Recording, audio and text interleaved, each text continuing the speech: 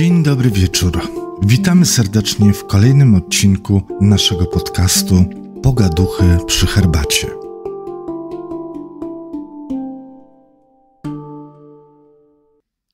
Dzień dobry, dobry wieczór Państwu. Dzisiaj zapraszamy Państwa do zupełnie innego programu niż do tej pory żeśmy przygotowywali. Dzień dobry, witamy serdecznie. Dzisiejszy program będzie taki trochę, no może dla niektórych bardzo mocno dziwny, bo dzisiaj będziemy rozmawiać o różnych zjawiskach nadprzyrodzonych, jak również i o duchach.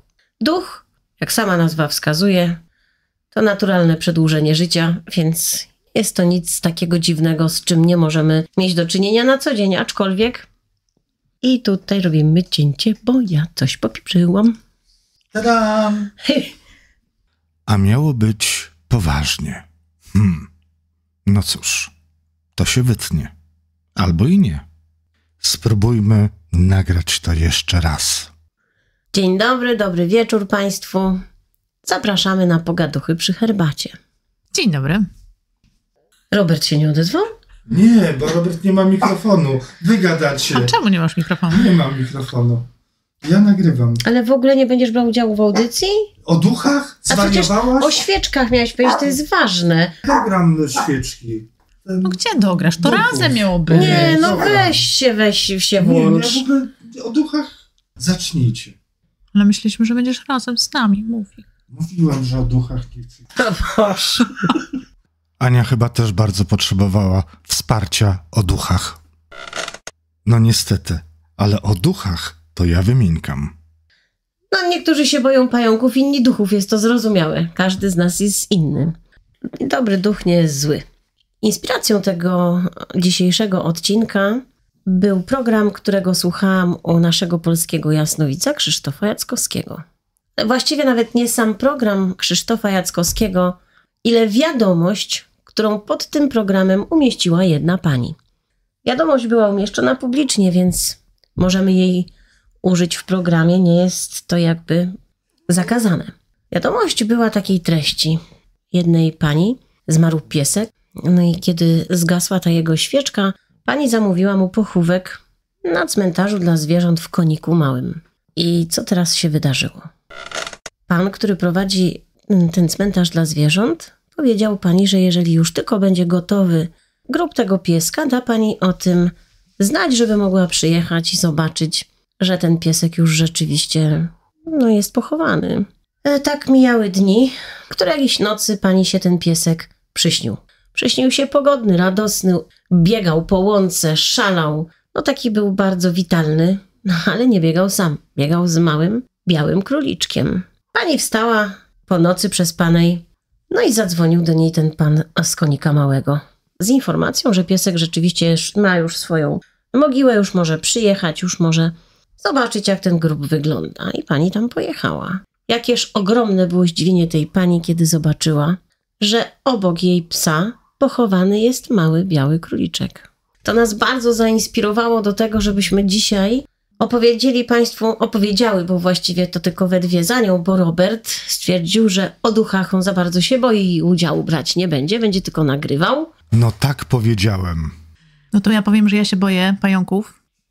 A propos tego, co powiedziałaś, też poniekąd można powiedzieć, że boję się duchów. Jakoś tak specjalnie nie wyszukuję tych sytuacji. Też niekoniecznie jestem rozmowna w tej dziedzinie, więc jestem bardzo ciekawa, jak, jak ta dyskusja się potoczy, bo jednak uważałam się zawsze za taką osobę mocno stąpającą po ziemi. Ale bardzo chętnie też opowiem o kilku sytuacjach, które zawsze tam gdzieś jakiś znak zapytania zostawiały w mojej pamięci i starałam się jakoś mocno ich nie roztrząsać. Niemniej jednak nie jest to temat taki do opowiadania wszystkim, bo jednak temat duchów to taki trochę temat tabu.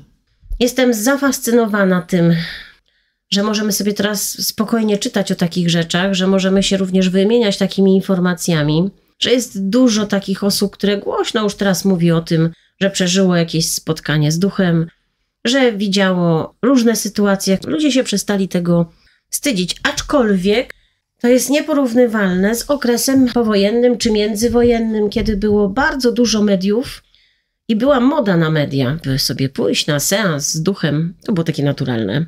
Nawiązując do właśnie takich seansów, nie wiem, czy Państwu jest znana taka postać, jak Teofil Modrzejewski, zwany Frankiem Kluski. I Franek Kluski był człowiekiem, który materializował zwierzęta, duchy zwierząt. Niestety jego seanse trwały tylko 7 lat, ponieważ go dosyć późno odkryto. Właściwie to sam się odkrył na jednym z seansów, ponieważ jego rodzina była bardzo przeciwna temu, co on robił. Starali się jako w młodym człowieku nie dopuścić do tego, żeby on rzeczywiście się zajmował tymi duchami. Jakby starali się, żeby taka sytuacja nie miała miejsca.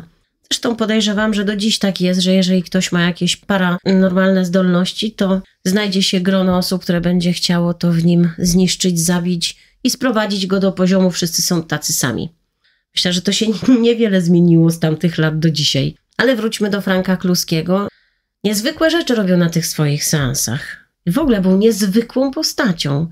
Domniemano, że te umiejętności, kiedy zaczął widzieć zwierzęta, widzieć też duchy, domniemano, że ten czas jakby rozpoczął się od momentu, kiedy brał udział w pojedynku i kiedy kula została mu w sercu już z pojedynku. Nie, nigdy się z tego serca nie wydostała. Że to jest ten moment przełomowy.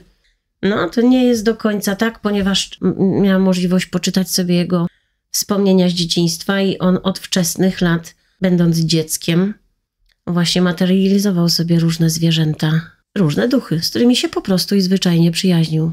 Umilały mu dzieciństwo. No ja jestem zafascynowana tym człowiekiem, że to jest takie genialne. Ten dźwięk w mikrofonie, który słychać jako chrapanie, to rzeczywiście chrapie mój pies na moich rękach, więc bardzo przepraszam za utrudnienia, ale musimy to jakoś przetrwać. Myślę, że bardzo wiele jest takich osób obecnie, które potrafią nawiązywać kontakty z duchami, potrafią je materializować i na pewno widzą niejedno, bo mnóstwo przekazów naszych dziadków czy naszych babć mówiło o tym, w różnych małych społecznościach na wsiach rozmawiało się o tym, że były nawiedzone domy, nawiedzone miejsca, że były różne stwory, różne postacie, na jakieś zmory, niezmory. O tym wszystkim się rozmawiało w domach. Ale jest szereg programów takich, gdzie sam ci łowcy duchów, że jeżdżą z kamerami, mają jakieś specjalne przyrządy, wyszukują takie mm, ala nawiedzone pomieszczenia, domy, nagrywają. Oglądalność mają ogromną, tak? Więc oni się w tym powiedzmy specjalizują. Programy polskie. Ja bardzo lubię wszelkie te programy w Radiu Paranormalium, chyba tak się nazywa poprawnie. Lubię te programy, ponieważ tam opowiadają o tak zwanym miejscowym folklorze, czyli wszystko to, co ludzie widzieli. Jakieś duchy, karaluchy, wilkołaki. No bardzo mi się to podoba, więc jeśli ktoś lubi tego typu audycje, to ja zapraszam do odsłuchania właśnie w Radio Paranormalium. Cyklu folklor albo w cyklu Świadkowie mówią a nie polecam słuchać tego na wieczór, bo kiedyś sobie zafundowałam takie posłuchanie jednego z odcinków w wannie. Dziękuję bardzo. Jak potem szłam spać? Bałam się iść po schodach. to no właśnie tak, ja właśnie się tego obawiam, że jakbym zaczęła mocniej zagłębiać się w tematykę, to już chyba bym nie weszła do jakiegoś ciemnego pomieszczenia, już wszędzie widziałabym jakieś cienie, duchy. Kurde, no nie wiem jak to powiedzieć już. Jakiś podkład muzyczny. Do tej pory jakoś tak no, unikałam tych tematów. No, jest to jednak niewytłumaczalne, więc no, nie mam jakoś tak, powiedzmy, grona znajomych, którzy by się pałali taką tematyką i raczej tak się nie opowiada to o tym. To duchy. Skrzypień żadnych nie wycinam podczas tej audycji. To może poskrzypmy trochę, może nie? Specjalnie. Na początek. Weź taki początek nagraj. Takie skrzypienie. Mam, mam fantastyczne krzesło z Chojnackiego. Dla niewtajemniczonych krzesło z Chojnackiego to sławetne krzesełko, na którym miałem przyjemność siedzieć podczas wywiadu z Jarosławem Chojnackim i było to najbardziej skrzypiące, piękne, zabytkowe krzesełko, które umilało nam oczywiście cały czas nasz wywiad. Życie jest nierozłącznie przeplecione ze śmiercią i tak jak tej pani na przykład śnił się piesek, który się bawił z królikiem, który pochowany był obok. Tak na przykład ja mam takie momenty, kiedy śni, mi się moja babcia i kiedy ona mnie się śni, zawsze mnie o czymś przestrzega albo coś mi doradza. Kiedy się uśmiecha albo kiedy do mnie, nie daj Boże, idzie z jedzeniem, no to jak z tym jedzeniem do mnie idzie, to już naprawdę wiem, że coś się wydarzy takiego mocno złego. Ale to jest taki dla mnie dowód bardzo namacalny, że sen jest takim przekaźnikiem ludzi, którzy są po tamtej stronie, czy zwierząt, które są po tamtej stronie, że jest wszystko w porządku, że życie toczy się dalej, że oni nas obserwują, są między nami, funkcjonują między nami. No po prostu życie toczą tylko jakby w innym wymiarze. Jeśli chodzi o nasze sny, to miałyśmy z Anią takie przeżycie niesamowite, bo uważam do dziś dnia, że było to niesamowite przeżycie, że śnił nam się ten sam sen. Bardzo zaplątałam chyba się teraz w słowach. Śnił nam się z Anią ten sam sen. Spotkałyśmy się rano w pracy i okazało się, że zarówno ja, jak i ona miałyśmy sen z udziałem naszego kolegi, chirurga ortopedy. No był to trochę straszny sen. Śniło nam się, obydwu nam się śniło, że myśmy mu przy tej operacji na otwartym sercu pomagały. Niewiele różnił się sen Ani od mojego. Obie pracowałyśmy na tym otwartym sercu. Ja to serce trzymałam w ręku, a on próbował to serce doprowadzić do takiego momentu, żeby ten człowiek mógł znowu żyć. Bardzo to był mocny sen. Ten nasz wspólny znajomy, trzeba dodać może, że jest lekarzem weterynarii, nie jest ludzkim lekarzem. Ja w ogóle rzadko pamiętam sny, ale faktycznie jak niektóre, no to są takie zastanawiające, więc dokładnych szczegółów tego snu akurat nie pamiętam, ale wiem, że wtedy wywołało to we mnie dużo emocji. Że co opowiadałyśmy sobie o jakichś tam szczegółach, to nam się pokrywało, więc to niesamowite. Ale to tyle lat minęło od tego snu i my ciągle ten sen pamiętamy. No właśnie. To nie jest tak, że ten sen był dwa dni temu. To było parę lat temu. Ale to tam się nie pamiętam, czy coś się wydarzyło później jeszcze związanego z tym lekarzem? No bo pytanie, co miało znaczyć? No bo jednak sny mają jakieś swoje znaczenie, nie?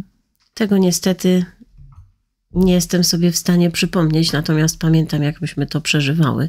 Nawet oddałyśmy ten sen, spisałyśmy go Obie spisałyśmy ten sen i oddałyśmy go do takiego pana, który się ogłaszał na Facebooku, że tłumaczy sny. A w życiu pokonałyśmy go. Nie był w stanie tego snu zdefiniować. No, to był taki bardzo mocny sen. Któregoś razu razem z siostrą nocowałyśmy tu w domu, tu gdzie nagrywamy ten podcast. Jakoś długo nie mogłyśmy z siostrą zasnąć, a jak się obudziłyśmy, no to ja też taka byłam wymęczona i mówię tak, jejku, jak ja miałam taki dziwny sen, że tak yy, obudziłam się niby, wszędzie było ciemno i do naszego pokoju w takiej półświecie, takim, takim światłem dziwnym szła tak powoli Bunia. To taka suczka, taka wilkowata, szara, która mieszkała w tym domu i tutaj yy, umarła. I tak jakby jej duch szedł. I moja siostra taka wystraszona i mówi, Boże, mi się też to samo śniło, dokładnie też, że widziała tą bunię i w ogóle obie się tak bałyśmy, że może gdzieś jeszcze tutaj ta bunia jest, bo ona była taką suczką, której moja siostra w ogóle się jej bardzo bała za życia tej bunie, bo ona była taką szczekającą suczką. Pozwalała wyprowadzać się na spacery, ale jednak do obcych była mocno takim ujadającą bała się. Też tak się długo zastanawiałyśmy i później bałyśmy się zasnąć, że znowu gdzieś zobaczymy tą bunię. Jakoś takie było, no, no jednak takie rzeczy niewytłumaczalne to wzbudzają strach. Życie jest nieuchronnym końcem, a na tym końcu najprawdopodobniej, no tak przynajmniej wierzę w to, że jesteśmy duszami, które gdzieś tam sobie migrują po różnych, może innych wymiarach, może stają się innej gęstości, ale absolutnie wierzę w to, że to nie jest koniec, to życie. Jest taka pani, ona już sobie przybrała pseudonim Ada Edelman. Opowiada o wszystkim, co jest związane ze śmiercią kliniczną. Prowadzi również blog Biuro Duchów. Fajnie jest tam sobie zajrzeć i poczytać opowieści ludzi, którzy przeżyli śmierć kliniczną. Można również sobie zakupić książkę pod tym samym tytułem Biuro Duchów. Już zaczyna wychodzić do światła ten temat, który uważam, że jest przepiękny. No tak, no śmierć kliniczna to tak, ale to też, mm, no ponieważ mózg jest takim niepoznanym do końca jeszcze e, narządem, no to to bardzo fascynuje naukowców, że te osoby, które przeżyły tą śmierć kliniczną, dokładnie słyszą czy widzą czy pamiętają rzeczy, których tak naprawdę nie, powiedzmy z racjonalnego punktu widzenia, nie powinny pamiętać, nie powinny widzieć. Więc to myślę, że to od takiego, od strony naukowej jest bardzo mocno takie fascynujące. Więc to jest takie teraz mocno modne, powiedziałabym, i drąży się ten temat. kiedyś nocowałam w takim domu na wsi, gdzie zostałam całkowicie sama w szczerym polu. Nic więcej, tylko ten dom, ja, Bobinio i nic więcej. Nie no, to wilkołak był w każdym oknie widoczny oczywiście.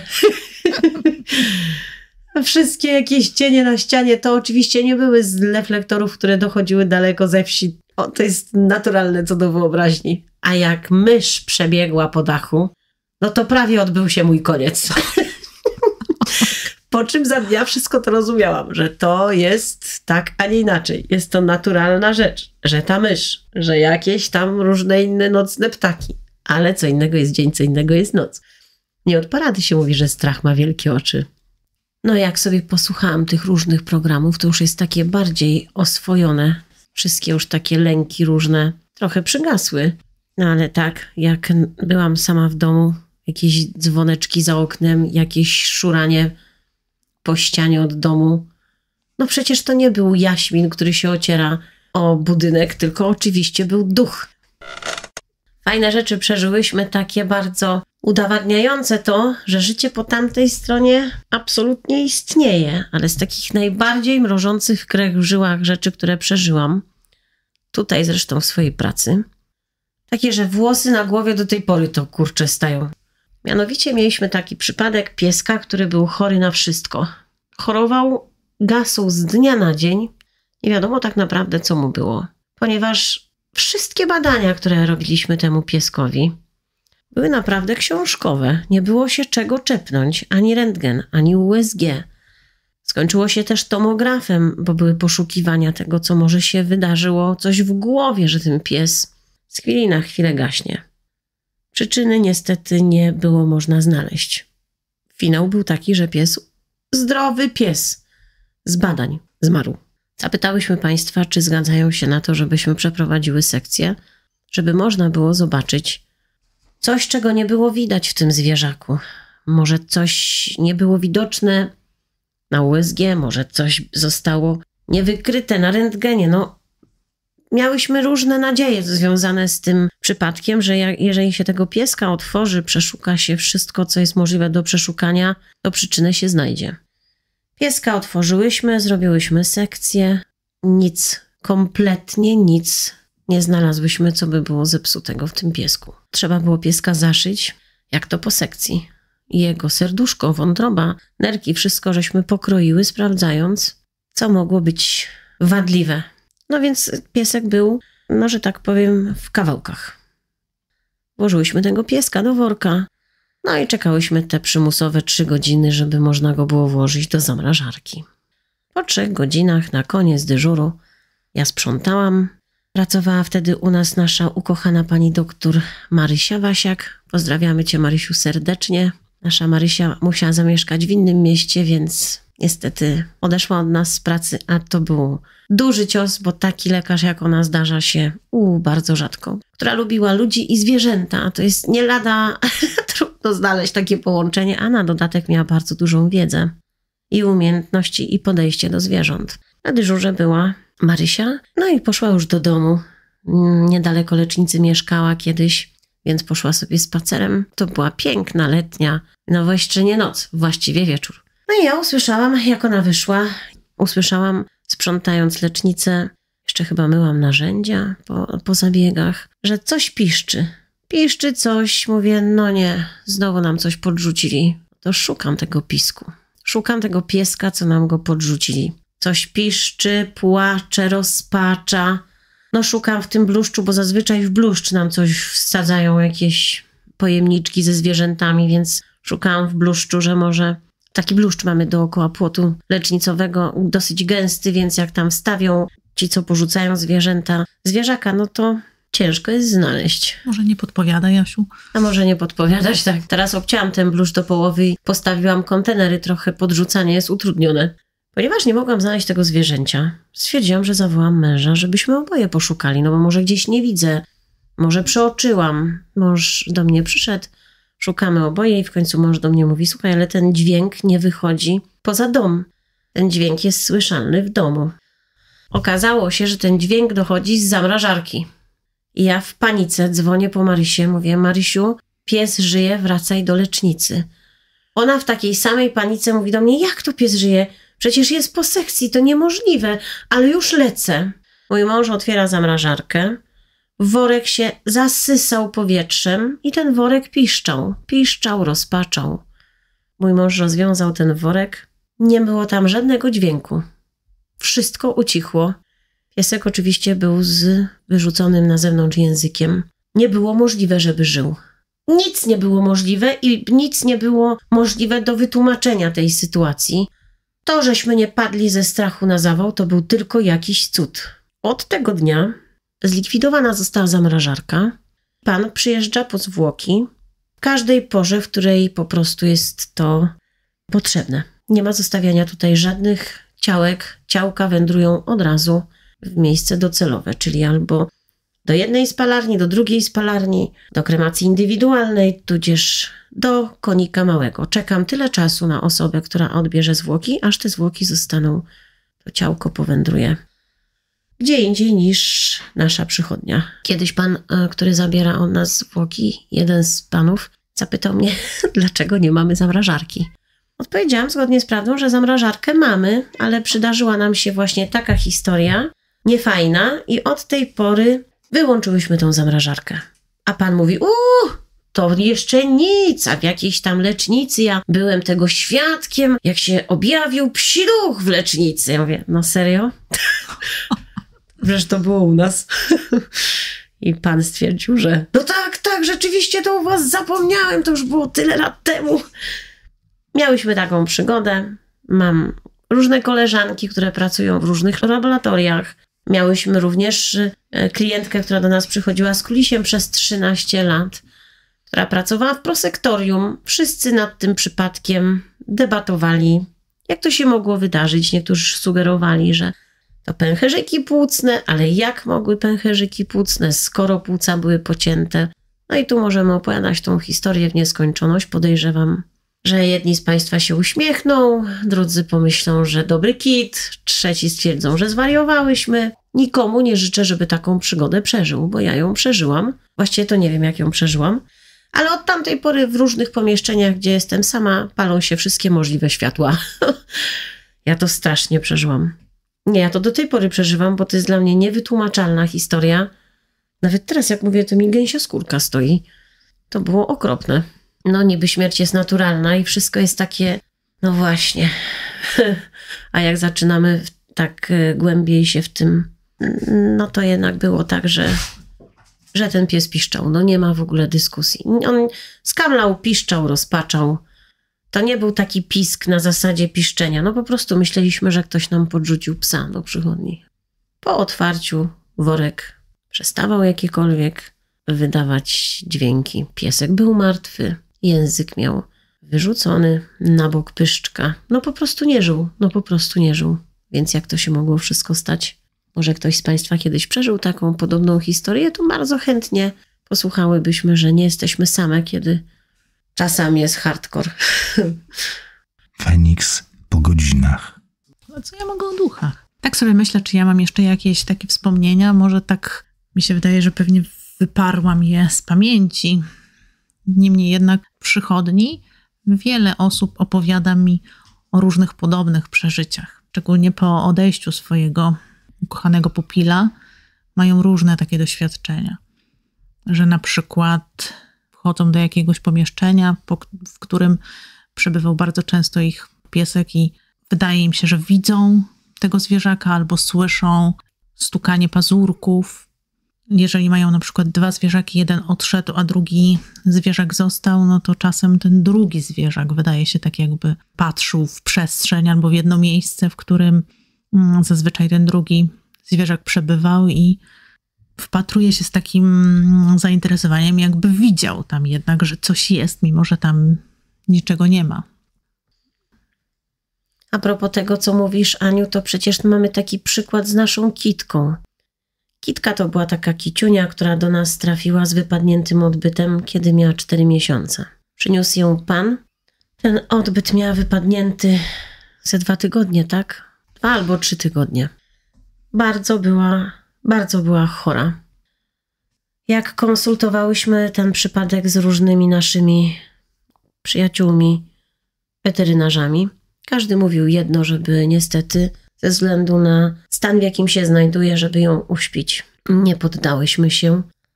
No, nie poddałyśmy się, ale w międzyczasie pan nam jeszcze opowiedział, że ma dwójkę dzieci. O, to w ogóle dzieci się bawią tymi zwierzętami i szynszyla udusiły. No to wiadomo, jak udusiły szynszyla, no to wzięli kota. O, no może za mocno go ściskały. Te opowieści nas tak przeraziły, że dałyśmy panu ultimatum, no albo wzywamy policję za znęcanie się, albo zrzeka się po prostu tego zwierzaka na rzecz lecznicy i będziemy szukać temu kotu domu.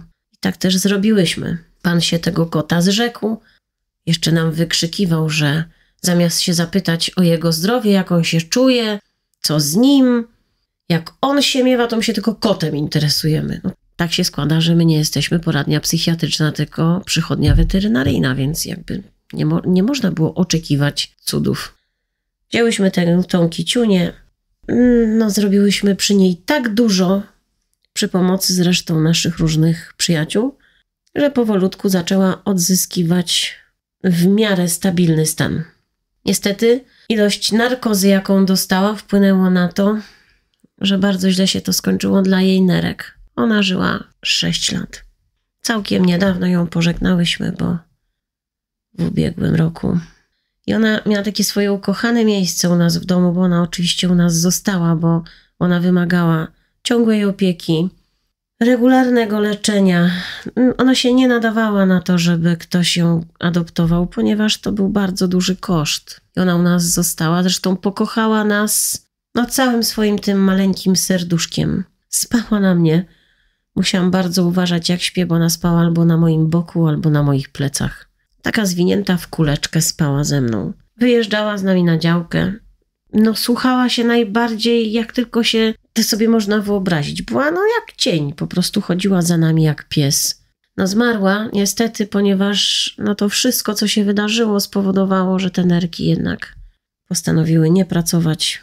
Sześć lat, które miała darowane, dziś uważam, że to jest jednak bardzo dużo. Rozpaczałam strasznie mając pretensje do losu, że nie znalazł rozwiązania na to, żeby ona no trochę inaczej żyła, w mniejszym bólu i w mniejszych wszystkich tych swoich chorobach leczonych. Ale z drugiej strony ona była z nami bardzo szczęśliwa. Bardzo nas kochała. Wyjeżdżała, opalała się w słoneczku, ganiała listki. No i właśnie miała w domu takie ukochane miejsce na kaloryferze. Kiedy zgasła, kiedy ta ten piasek w jej klapsydrze się przesypał. Jak spała na tym kaloryferze i sobie stąd odeszła ciałkiem, to się okazało, że wcale nie odeszła duchem. I jak żyła, no to koty się biły o to miejsce na tym kaloryferze, bo to jednak każdy kot lubi sobie dubsko wygrzać, nie ma co się oszukiwać. Koty to piecuchy. Natomiast y, jak ona zgasła, nikt na tym kaloryferze nie śpi. Nawet w tej chwili, kiedy nagrywamy ten program, jest jeszcze sezon grzewczy.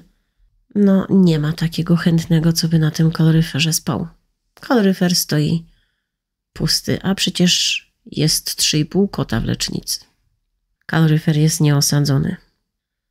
No to tak wiadomo, że ona tutaj jest.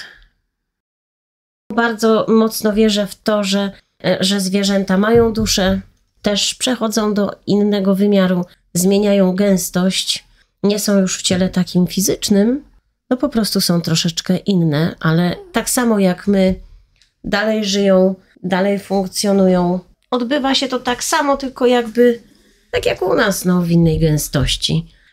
Ja się nauczyłam nie płakać po zwierzętach. Współpracowałyśmy z fundacją i przywieźli nam taką suczkę wilkowatą, którą zamówiła sobie przez internet pani, że ona bardzo chce tą suczkę, to jest taka piękna suczka, a że będzie idealna właśnie dla niej, zamówiła sobie ją, żeby ją dostać. To było dawno temu, nie wiem teraz, czy jest możliwe zamówienie sobie pieska przez internet ze schroniska, po prostu tego nie wiem.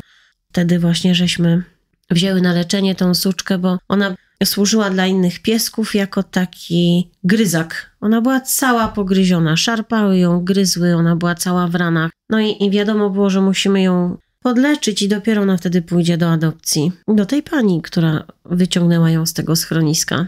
Ona sobie leżała na stole u nas przygotowywana do, do zabiegu. Ogoliłyśmy ją, żeby wszystkie te rany można było mm, wyrzucić na wierzch. I przyszła pani zobaczyć ją. Powiedziała, ojej, jaki brzydki kundel. O nie, ja tego psa nie chcę. I po prostu ją zostawiła. Nie chciała tego psa. Suczka musiała u nas zostać, ponieważ rzeczywiście była w złym stanie. Wybudziła się z narkozy, starała się być cieniem, taka była grzeczna, żeby tylko nikomu nie przeszkadzać i żeby tylko nic nie zrobić wbrew pewno dobrym manierom, które sobie wmówiła, że powinna mieć. Wszystko to była czysta przyczajka, ponieważ jak już postanowiliśmy, że zostaje, bo się bardzo do nas żyła, a my z nią, no to dopiero pokazała rogi. No była rzeczywiście. Kot to był jej naczelny wróg, więc przeżyła niejedną historię u nas w domu z takimi zaciśniętymi łapami, z pazurami takimi gotowymi do ataku, no bo koty u nas w domu chodziły jej przed nosem, a jeszcze ją wkurzały specjalnie.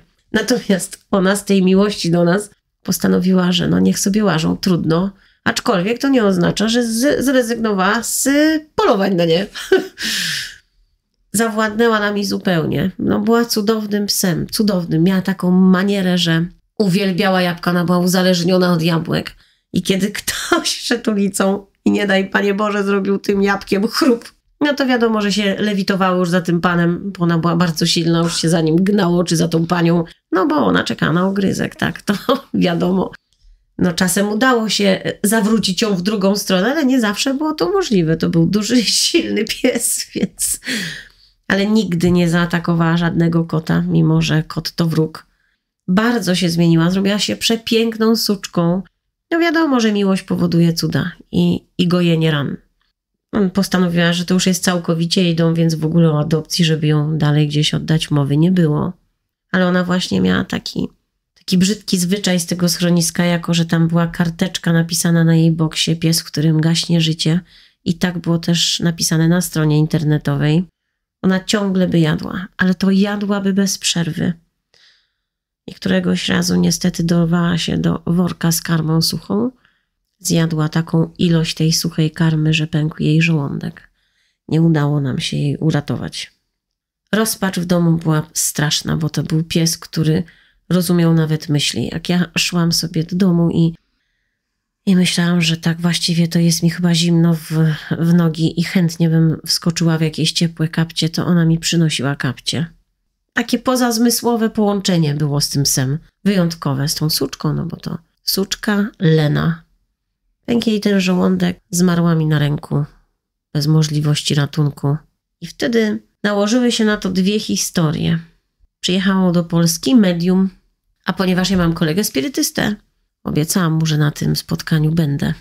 No i taka zaryczana, zapłakana, bo Lena zgasła 24 maja centralnie w mojej imieniny, a 26 maja było to spotkanie. Poszłam na to spotkanie, usiadłam w samym kącie sali. W rogu pod oknem, żeby mnie nikt nie widział i niczego ode mnie nie chciał, a łzy no to same mi leciały. To nie do opanowania, bo pies to przecież pies, kot, papuga to no członek rodziny, no każde zwierzę, które jest chowane normalnie w domu jest członkiem rodziny. Byli różni goście zaproszeni przed y, głównym prelegentem o historii, o tym, o tamtym, o różnych sytuacjach historycznych, duchowych. No, mnóstwo było takich ludzi. Był nawet mężczyzna, który pomaga w hospicjum ludziom po prostu odchodzić. No to bardzo różne prelekcje były. No i był też ten pan, który to przyjechał jako gość do Polski, medium. Przywitał się z obecnymi na sali gośćmi i z punktu mówi: Proszę przestać płakać po tym psie, bo ten pies nie może stąd odejść. No to ja podniosłam głowę, rozglądam się po sali. Komu jeszcze umarł pies? No bo to było dla mnie takie logiczne. No to pan do mnie mówi: Proszę się nie rozglądać, bo ja mówię do pani. No to prawie umarłam ze strachu. no bo to było takie potężne przeżycie. Od razu mi przeszedł wszelki płacz, wszelkie rozpacze. No i okazało się, że ten pan do mnie mówi, że ta suczka jest przy mnie, nie może odejść, że ja ją sobą trzymam, że ja nie pozwalam jej iść do lepszego świata, w którym ona już tam na nią czekają. Jej psia rodzina, jej przyjaciele różni, tylko właśnie trzymam ją tą rozpaczą, że ona jest w takim międzyświecie. Nie chciałabym przekręcić nazwy, że ten świat, ten międzyświat jest taki bardzo, bardzo zły i nie jest dobrze, jak jakaś taka czysta dusza tam przesiaduje. Pan powiedział, żebym za jej duszę wypuściła jakieś zwierzę na wolność, które jest zamknięte i że ona sobie bezpiecznie odejdzie.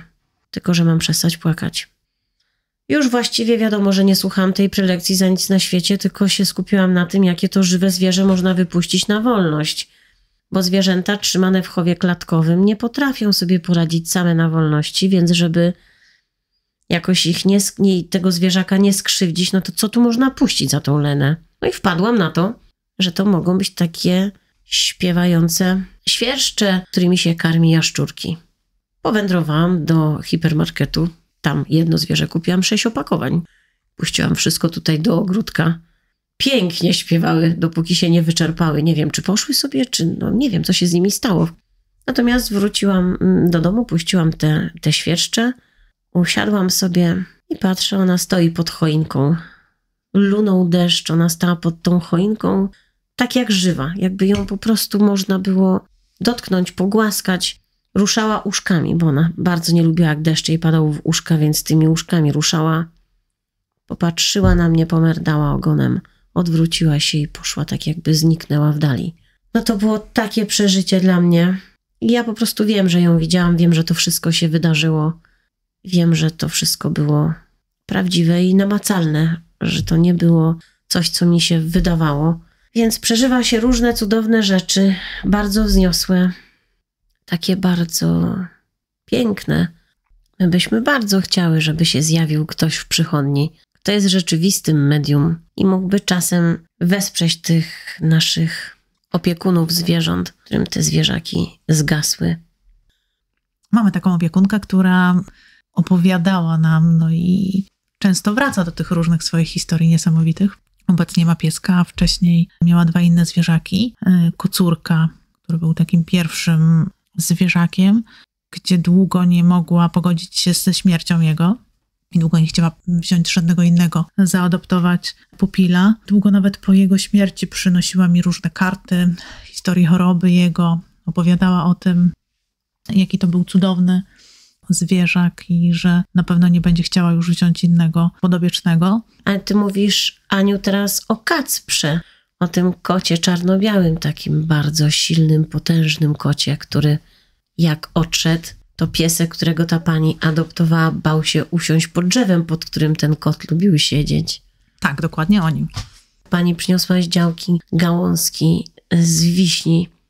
To była ta wiśnia, na której dla odmiany lubił siedzieć i ten piesek też omijał te gałązki z wiśni na odległość. Pani nam to wszystko opowiadała. To było takie niesamowite, że ten piesek, który, którego pani przygarnęła po kocie, no jakby zupełnie wychowywał tego psa jako duch.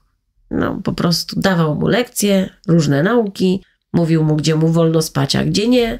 Wypędzał go z różnych swoich ulubionych miejsc i ten psina grzecznie to miejsce opuszczał i się wynosił gdzie indziej.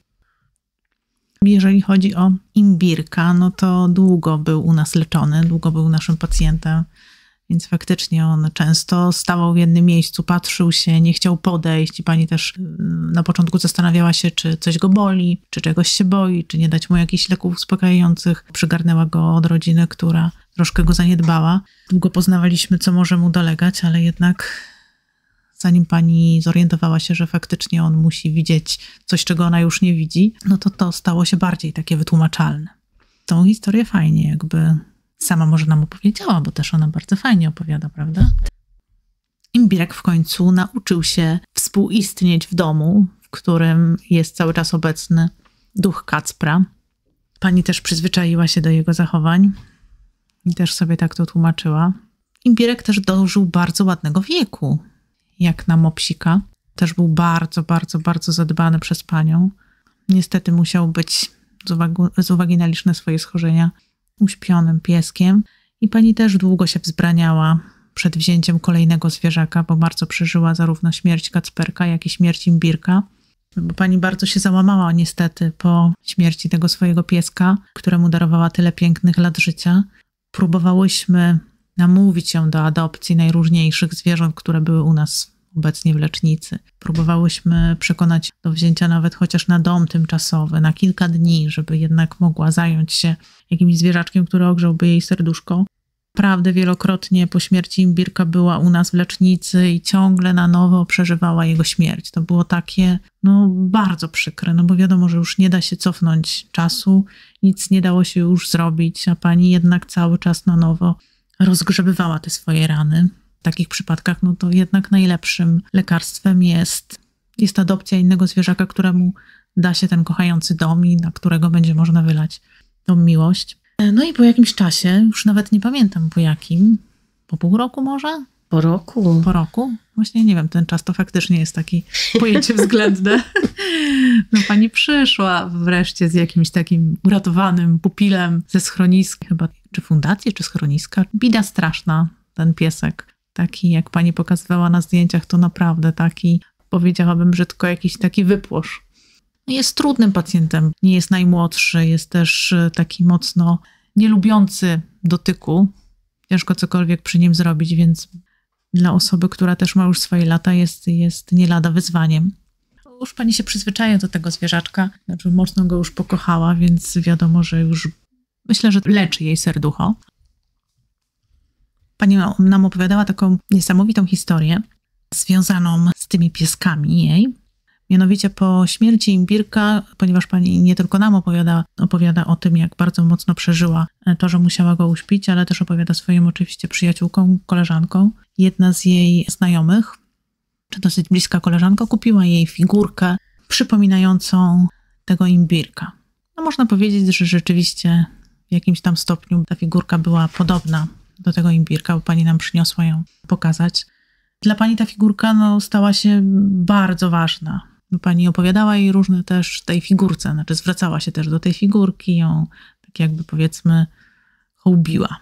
A przypomniała też sobie, że kiedyś, dawno, jakieś 10 lat wcześniej, kupiła sobie taką figurkę leżącego pieska, śpiącego pieska, że kiedyś, kiedyś miała taką figurkę, postanowiła ją odszukać. Te figurki postawiła obok siebie. Prosiła Imbirka, żeby czuwał nad tym pieskiem, ten piesek jest taki samotny w tym koszyczku. I Imbirek czuwał nad tym pieskiem w taki sposób, że pani powędrowała po pieska do schroniska. Wybrała tego pieska, przyniosła go do domu. Parę miesięcy później ja tego pieska ostrzygłam i okazało się, że ten piesek jest identyczny jak piesek w koszyczku. Jest po prostu identyczny ten sam piesek. Tak, dokładnie tak. No pani najpierw nam opowiadała tą historię, a później przyniosła na dowód tego któregoś kolejnego razu te figurki do nas do lecznicy, więc... To jest taka niesamowita historia. Feniks po godzinach. Ja w swojej praktyce mam bardzo często takie sytuacje, gdzie no, przeprowadzam na drugą stronę te zwierzęta. W momencie, kiedy już nie mogę pomóc medycznie, kiedy pacjent bardzo cierpi, to wiadomo, że w tym momencie mamy tą możliwość, że możemy go uśpić. No, no wiadomo, że to cały czas, mimo że już mam tyle lat praktyki, wywołuje we mnie ogromne emocje. E, właściciel też, wiadomo, jest wtedy mm, w rozpaczy. Są to zawsze trudne chwile. Muszę się za zaopiekować też tym właścicielem i chciałabym mieć takie lekarstwo, które mm, uśmierzy mu ból w tej żałobie po śmierci tego pupila, ukochanego zwierzaka. Mm, to wtedy polecam książkę Tęczowy Most. Długo się zbierałam, żeby e, zapoznać się z nią i ją przeczytać. Faktycznie osobom, które odszedł pupil, polecam jako taki, takie lekarstwo na ten smutek. Już wiele osób bardzo mi podziękowało po przeczytaniu tej książki, że jednak było to takim, takim plasterkiem na ich serce. Mogło poczytać o doświadczeniu wielu osób, zarówno ja to przeżywam, jak i właściciel. Wiadomo, że to są trudne chwile. Później, po śmierci tego członka rodziny, wiadomo, to jednak jest ta żałoba w domu, więc tą żałobę też po zwierzaku trudno, trudno sobie z nią poradzić.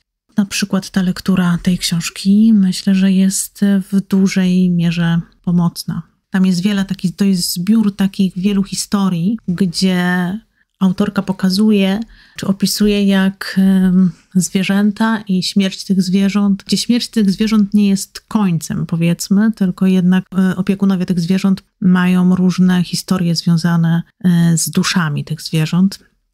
Ta książka to zbiór historii wielu osób. Opowiadane są tam doświadczenia takie na pograniczu śmierci, o tym, że one są takimi naszymi aniołami, stróżami, że nawet po śmierci opiekują się nami, ich dusze są obecne e, wśród nas. Pozwala uwierzyć, czy powiedzmy nawet za. Mm, przedstawia, że jednak te dusze zwierząt to nie jest jakiś tam wymysł, że tylko ludzie mają duszę, ale zwierzęta też ją posiadają. Ja byłam mocno taka sceptyczna pod tej tematyce, ale jednak no, zrobiło to na mnie ogromne wrażenie. I każdemu polecam przeczytać tę książkę. Jeszcze można wspomnieć chyba o tym, bo wspomniałeś, że ona była medium, tak? Mhm. Że autorka jako medium. Autorka tej książki jest medium, potrafi, nie wiem czy to tak się mówi, porozumiewywać się z duszami zwierząt. No jest to takie rzeczywiście dyskusyjne, ale jednocześnie bardzo pomocne. Myślę, że jakby w Polsce też była taka osoba, to może moglibyśmy ją zapraszać też na takie spotkania, bo wielu osobom na pewno by to pomogło. No właśnie, tak to się wstydzą mówić, nie? Tak, no i ta żałoba y, bardzo jest później ciężka do przeżycia, zwłaszcza, że jest ona taka, no też dla osób, które nie mają zwierząt, zupełnie niewytłumaczalna, tak? Bo wiadomo, że jeżeli jakiś członek rodziny nam umrze, no to zupełnie inaczej traktują nas współpracownicy, tak? To jest dla nich takie normalne, ale jak odejdzie nam jakiś pies, kot, czy powiedzmy królik, no to już osoby inne, które nie mają zwierząt, zupełnie tego nie rozumieją. Myślą, że to to tylko zwierzę i można normalnie wrócić do pracy, można normalnie funkcjonować, a to zupełnie tak nie jest. No, jest bardzo wiele też fajnych książek w tej tematyce. No, hit numer jeden to jest dla mnie książka Dowód. Uwielbiam tą książkę. Ona w ogóle zmieniła moje postrzeganie. Dostałam ją, pamiętam, przed wyjazdem nad morze, po czym wyjechaliśmy nad to morze i ja siedziałam cały dzień na plaży, dopóki nie skończyłam czytać tej książki. To nie jest to, że się ją czyta, ją się po prostu pochłania, że tak powiem. Książka Dowód jest napisana przez neurochirurga, który znalazł się po tamtej stronie, ale z niej powrócił. Dla tych, co nie czytali tej książki, nie będę, nie będę jej przybliżać, bo warto jest przeżyć, przeżyć, zaznaczam, ją samemu, bo jak ją się czyta, to się ją przeżywa. Neurochirurg miał taką sytuację, będąc po tamtej stronie w śpiączce, w której się znajdował, że bardzo wiele ludzi się za niego modliło, bo on również bardzo wiele osób uratował. I w lot rozeszła się informacja, że on jest w stanie krytycznym. Fajnie by było każdy na swój możliwy sposób, żeby się u Pana Boga za nim wstawił. I jak e, już powrócił na tę stronę życia, to okazało się, że on tych ludzi, którzy się za niego modlili, czy za niego rozmawiali z Panem Bogiem, czy o niego się wykłócali, to różnie bywa, różnie ludzie rozmawiają z Bogiem na swoich sto sposobów. On tych ludzi rozpoznawał na ulicy. To był taki dla mnie rzeczywisty dowód na to, że my jesteśmy wielowymiarowi. To jest też książka, którą ja często kupuję swoim różnym bardzo bliskim znajomym, by też mogli ją poczuć, wejść w nią i przeżyć swój świat takim, jaki on jest tam pokazany, bo to jest coś niezwykłego. Dla mnie oczywiście każdy odbieram jakby coś innego w różnych innych sytuacjach. Czytałam też taką książkę, w której ten, kto ją napisał, próbował pokazać ludziom swoją potężną wyższość jako lekarz, że on nie wchodzi w takie rzeczy. Po reanimacji pacjenci opowiadali różne rzeczy lub po zabiegach, że on jest ponad to i że w ogóle tamten świat nie istnieje, istnieć nie będzie. On jest tak racjonalny, że że nie ma mowy. Do momentu, aż pacjent, którego wybudził, po prostu przywalił mu w zęby. Dał mu w dziób, krótko rzecz biorąc. Właśnie dlatego, że go wybudził, że on sobie tego nie życzył, że tam było pięknie, cudownie, fantastycznie, a ten mu cały ten piękny świat z życia po tamtej stronie zniszczył. No i wtedy, jak dostał ten dziób, to rzeczywiście się tym mocno zajął. No do takiego stopnia, że aż napisał książkę, tak? No właśnie, są różne takie momenty w różnych książkach przedstawione, jak chociażby taki moment, który też bardzo, bardzo mną wstrząsnął. Opowiada mężczyzna, że był w okopach i w okopach było ich kilku, no i również się znalazł tam przeciwnik. po drugiej stronie bariery ze sobą walczyli, ale w tym okopie znaleźli się razem. I ten przeciwnik poprosił o papierosa ludzi, którzy z nim w tym okopie siedzieli, ponieważ umierał. Dostał tego papierosa i zmarł. Ten, który mu dał tego papierosa, przeżył śmierć kliniczną. Wybudził się z niej i powiedział, że Pan Bóg go zapytał, co zrobił dobrego dla ludzi i dla zwierząt. Pan Bóg, no ta wyższa energia. Ja nazywam Pan Bóg, więc proszę mi wybaczyć. Każdy może nazywać inaczej po swojemu. Że ta wyższa energia wezwała do siebie tego Pana i zapytała właśnie, co zrobił dla ludzi i dla zwierząt. Odtworzono mu film. Sam go sobie odtworzył z tego, kim był na ziemi, co się w tym jego życiu wydarzyło. I to było takie niesamowite, że to przypalenie tego papierosa temu przeciwnikowi w okopach to była jedyna dobra rzecz, którą w życiu zrobił. Pan wrócił na ziemię i całkowicie się zmienił. Stał się sympatyczny, empatyczny, pomagał ludziom. Pomagał właściwie wszystkim, ktokolwiek przewijał się przez jego życie. To takie było dla mnie. Kurde, no, zapalenie papierosa jako jedyny dobry uczynek. Nie oceniajmy tego, bo to nie o to chodzi, ale dopiero musiał się spietrać, że pójdzie do piekła, jeżeli w ogóle takie jest, nie? Tak osobiście uważam, że Ziemia to jest takie mikropiekło, ale to moje zdanie. Proszę się do tego zdania nie przywiązywać. Zmarł mój ukochany kot, którego tutaj klienci z naszej przychodni znali. To był Kotowow.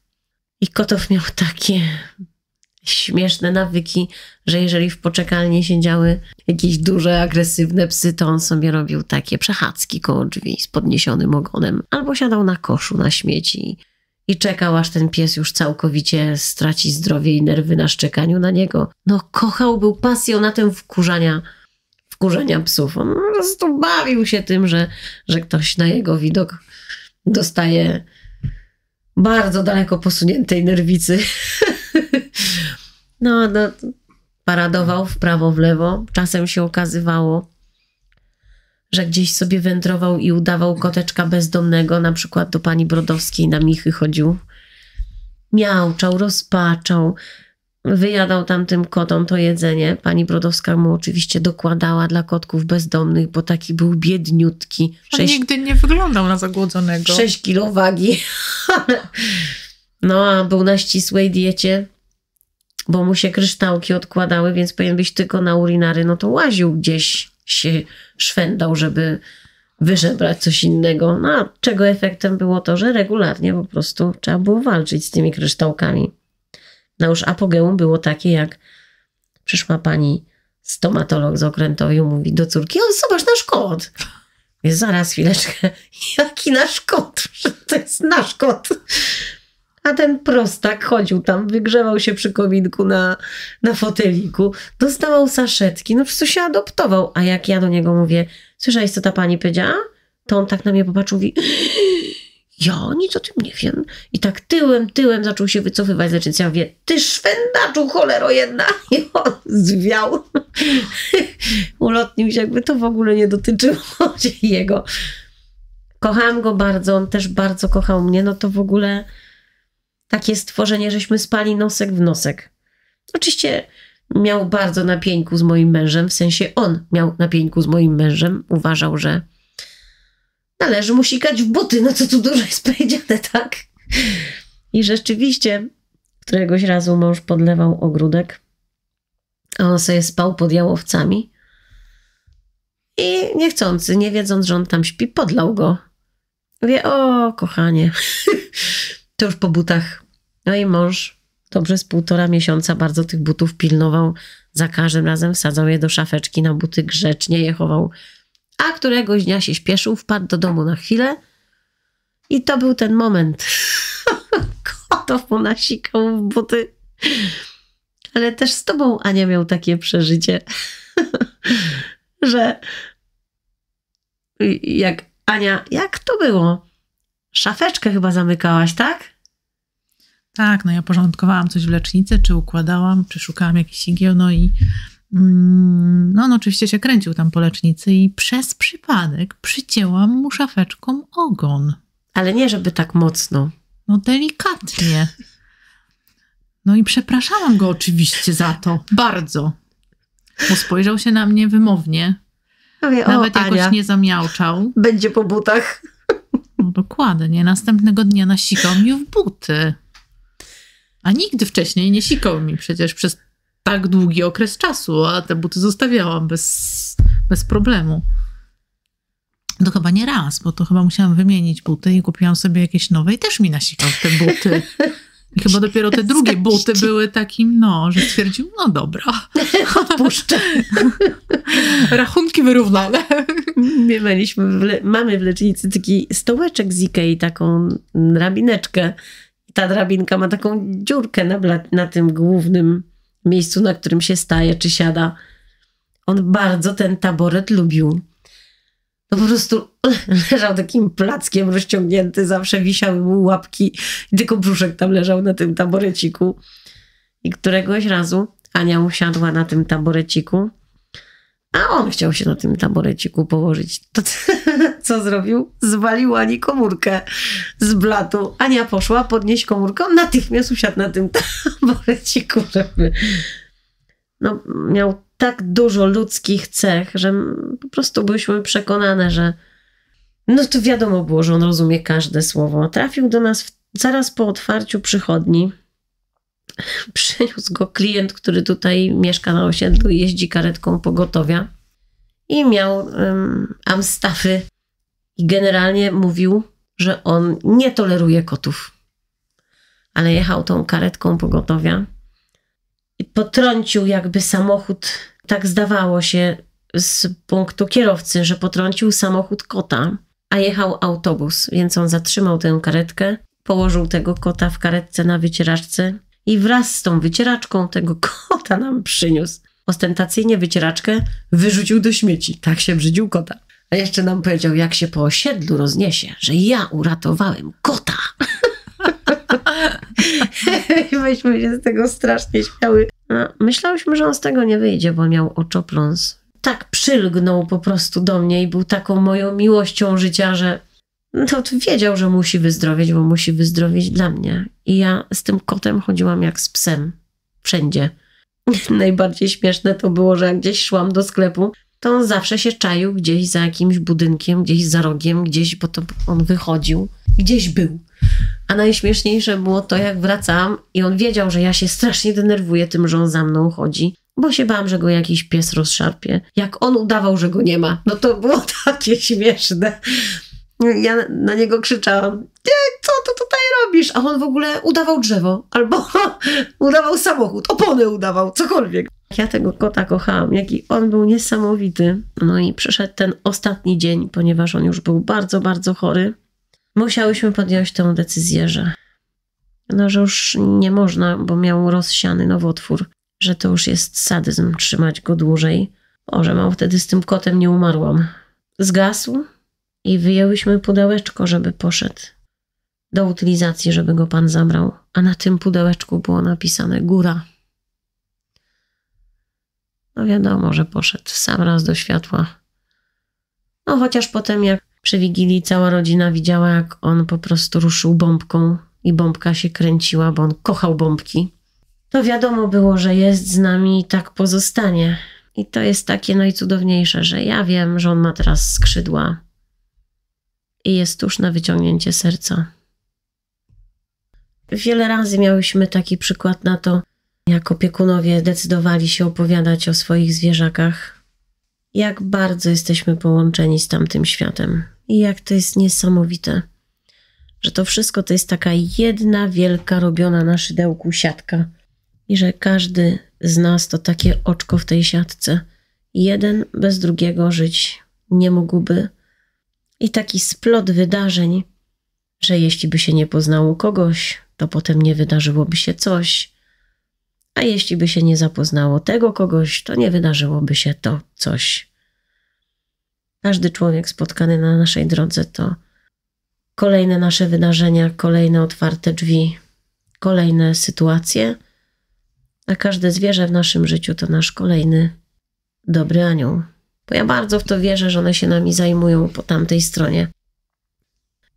Wiemy na bank po prostu, że wszystko ma duszę, nawet najmniejszy robak najmniejsza jakaś paskuda modliszka. Wszystko gdzieś tam idzie na tamtą stronę i tam sobie doskonale żyje. Boże, takie obrzydliwe pająki? Fu, no ale niektórzy kochają te obrzydliwe pająki. A zresztą niektóre są bardzo takie fajne. Na przykład te, co mają tak bardzo, bardzo, bardzo dużo nóg. To są genialne. Okropieństwo. Ale one są bardzo fajne w dotyku, bo ja kiedyś miałam na rynku takiego wielkiego, to chyba się nazywają krocionogi, ale nie chciałabym tutaj. Matka, jakie to jest piękne stworzenie. A tak sobie pomyśleć, że byłoby człowiekiem i musiałoby chodzić w butach, to ci powiem, tyle nóg. Ja cię. To... Ciekawe, czy by się depilował, nie? No akurat nie miał. Nie pamiętam. Miał włoski na nogach? No one mają niby, żeby tak się przyczepiać, nie? Ale ja też miałam pająka na rękach, tak? Te wielkie takie. Uff, aż mi ciarki przeszły. Ale nie. Ja na miłośnikiem pająków nie będę nigdy. to, to się nie zmieni. Różne są teorie, ludzie mają bardzo różne lęki. Zamiast po prostu mówić o sprawach prostych, otwarcie, nie komplikować ich, to boją się takich normalnych tematów z przejścia życia i śmierci. Mam nadzieję, że ten odcinek się Państwu spodoba. W ogóle to jest fantastyczne, że myśmy wymyśliły te podcasty. Tak, to jest fajne, bo można opowiadać o takich różnych rzeczach i myślę, że może część naszych też opiekunów pacjentów chętnie się tu przyłączy, opowiada tak. Przecież tak dużo rzeczy przeżyłyśmy w tej przychodni przez tyle lat, że to jest takie niesamowite, że można złożyć z tego tak, no książkę byśmy napisały. Właśnie, moglibyśmy zrobić taki odcinek z odczytywaniem takich historii. No bardzo byśmy chciały, żeby Państwo też opowiadali nam o swoich takich historiach, które nie chcecie się dzielić nimi, bo się wstydzicie, czy obawiacie, czy obawiacie się, że ktoś powie: O, jakiś diabeł, szarlatan, zaraz ci przyślę egzorcystę. Co jest teraz takie modne. Zapraszamy do tego, żebyście się Państwo dzielili z nami takimi opowieściami. Mogą Państwo wysłać do nas czy maila, czy jakąś wiadomość i możemy odczytać takie wspomnienia na, przy kolejnym jakimś spotkaniu wyjątkowym. Temat dzisiejszej audycji jest bardzo ciekawy. Wiele nam się przypomina różnych jeszcze historii. Dobrze jest być otwartym, mieć szeroko otwarte oczy na różne sytuacje, które nas otaczają, bo czasem najprostsze i najcudowniejsze znaki są podawane wprost. A człowiek ma tendencję do takiego kombinowania, gmatwania czegoś, do takiego udawania, że jest zupełnie inaczej. A zwierzęta kochają tak prosto, tak pięknie, kochają tak po prostu. I co jest najważniejsze, kochają za nic. Nie trzeba mieć Mercedesa, pięciu willi, dziesięciu basenów i sztabek złota w banku. Wystarczy tylko głaskać, przytulać, kochać i żeby to było takie prawdziwe. One kochają po prostu za nic. No albo z drugiej strony rzecz biorąc, kochają za coś całkowicie unikalnego, za miłość. Feniks po godzinach.